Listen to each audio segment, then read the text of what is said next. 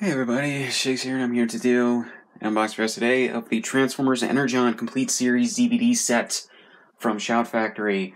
Like the fact that I got um uh, Armada, I got Energon, I also got Cybertron because they were on they were for sale or they were on a sale on Amazon.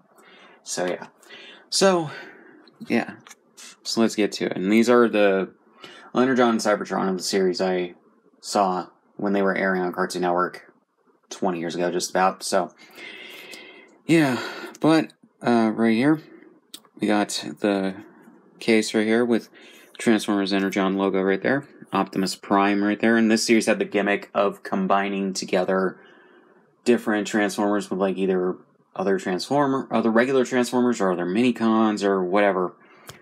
So yeah, that was the toy line for this series, which was actually kind of fun from what I remember. So it says the complete series and the Autobot and Decepticon logos right there.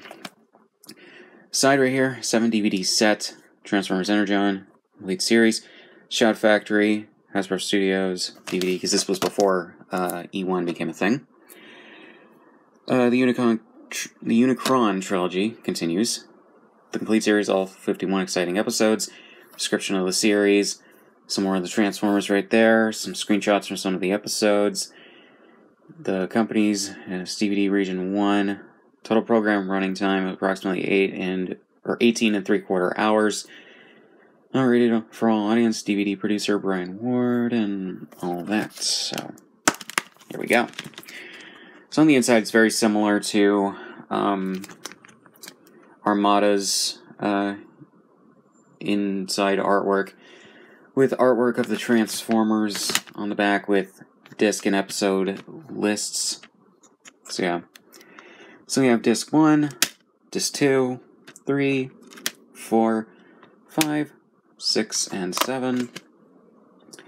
You got more of the uh, Transformers with some of the Decepticons, and then the episode lists. So, yeah. So, that's about it. So, yeah.